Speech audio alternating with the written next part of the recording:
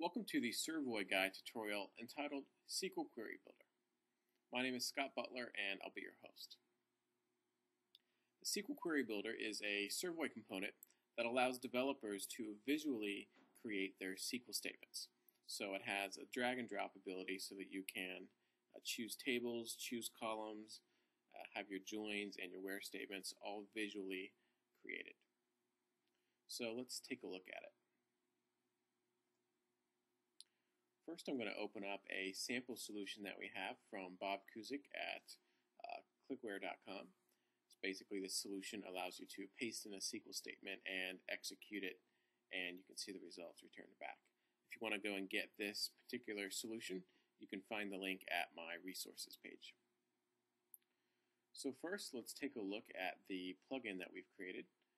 So we go to Tools, Plugins, and if you have it installed correctly, you'll see the Servoy Guy SQL Query Builder option. So let's choose that. And then it shows us a prompt for what database connection do we want to use. So it's automatically reading my current connections that I have set up for my Servoy developer. So let's choose which one we want to use. Let's use UDM for now. And let me do a little resizing here. So a quick overview. On the upper left, we have a little tree node where this is a visual representation of our query. In the bottom left, we'll have our tables.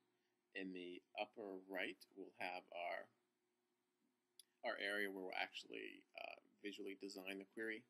And then over here, we'll have the syntax. So we can actually see the SQL statement that's being created. So first let's start and we need to choose our schema here. So we need to use DBA since that what, that's what we're logging in with.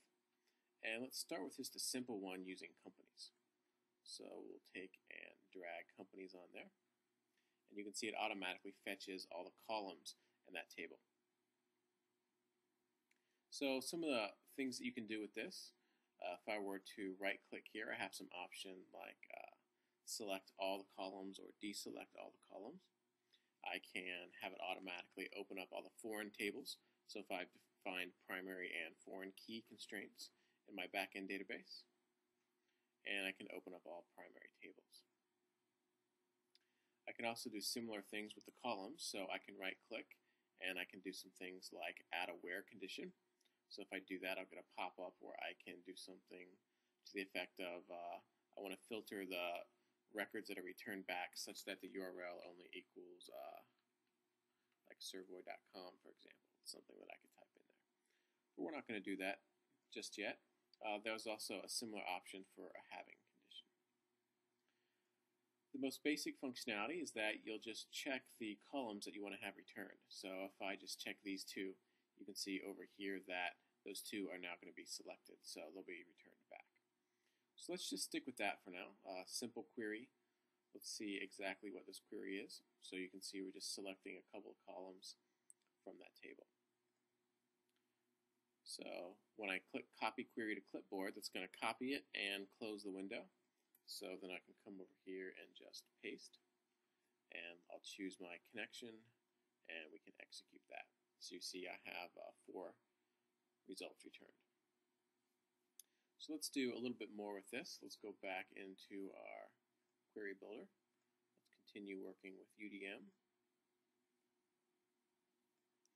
And this time we're actually going to do a a join across multiple tables. So we're going to go back and choose DBA. We'll go back and choose companies, so we'll drag that on there. And there's also uh, orders, so we'll drag that one on there as well. And the first thing I want to do is create the join from these two tables. So I know that there is a company ID in here somewhere. Let's see if we can find it. There it is. So what we need to do is drag from one table over to the other table and just let go. And you can see it automatically creates that line for us. So then I can double click and I can actually edit the properties of this join. So right now it's a standard equal join, but I could also do some more things like less than, greater than, and there's a not equal to option down here. I can also define whether I want it to be a left or right outer join here. So if I want to get all the orders or companies, even if there's not matching records. And then let's select uh, the other things that we want to return. So let's return the company name. And uh, what else do we want to return here? How about some, maybe some shipping information? So I see a ship postcode. Let's also go ahead and pull in the, the primary keys. So we'll do the company IDs and the order ID. And there's a freight option. We'll go ahead and get that one too. So we'll copy this query to clipboard again. And we'll come back over here and we'll paste. And let's run this one. So you can see I got the columns I asked for back. I have the company name, the uh, shipping total, which happened to be empty on these, all their order IDs, and there's the primary key that I selected, and there is the order freight, which also just happened to be null. So you can do this for more than just uh, building queries and testing them. You can also use them in your editor. So, for example, when you're doing some coding. Let's do a little resizing here again. So let's pretend I had this new method. And you're using database manager dot get data set by query. So I'll just move a sample over there. Well, instead of having to type out this query, you can just clear this out, put in your quote, and do a paste, end your quote, and now you've got your SQL statement all pasted in there for you. Another nice thing you can do is back in the query builder, you can add a where clause and put in a question mark for the value of the where statement. And then that will allow you to continue to use the prepared statements with the arguments array.